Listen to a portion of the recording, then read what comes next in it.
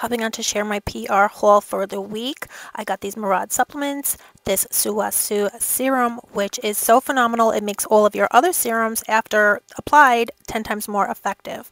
So it's absolutely amazing. Then I got this Glow recipe set.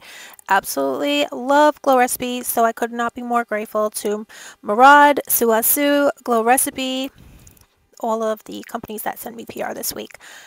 I got this T3 Wand Whirl Trio. Can't wait to use that. I got this ColourPop. This is the Luxe Lipstick Vault Disney Princesses. I got a glossy box, which I can't wait to share what's inside. I got a knit box. I got a Murad Skincare Champion Slide. So I'll be back and do an unboxing. Thank you so much to everyone.